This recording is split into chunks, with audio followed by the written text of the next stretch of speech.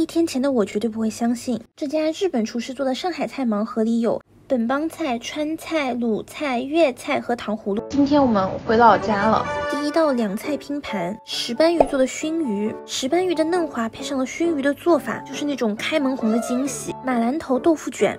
他真的懂本帮菜，美中不足的是调味里放了花椒油，这个菜单上说是辣白菜，但是吃下去发现是醋溜白菜。第二道是葱油饼配干酱，你们知道我多久没有吃到正宗的葱油饼了吗？我按照主厨建议涂上干酱的时候，我还是后悔。牛臀肉和西洋菜煲出来的高汤。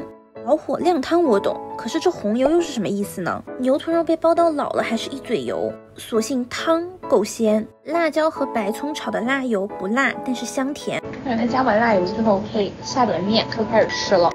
就上点心了，萝卜丝饼里面放了春笋，那种咬开就能闻到的清香，配上萝卜丝，感觉春天都要来了。清蒸的虾和蛤蜊，蛤蜊没有调味，吃的是清甜。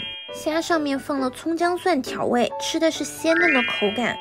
盘子都快被你吃了。喝完汤一抬头就是主厨开始做炒菜了。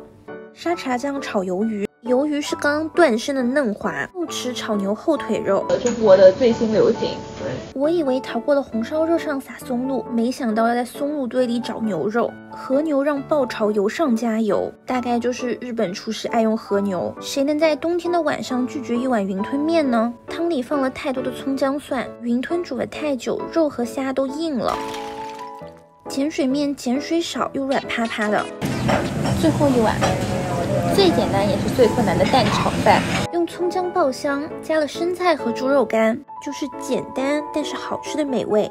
甜点之前还有一杯茉莉花茶，日本人真的很喜欢这种一整朵花的茶。我一直以为甜点是酒酿圆子之类的。这个冰糖草莓入口即化，像在喝草莓汁一样；杏仁豆腐像是在喝固体的露露。我觉得无论是谁做中餐，或是以怎样的方式呈现，都是客人在为餐厅的审美买单。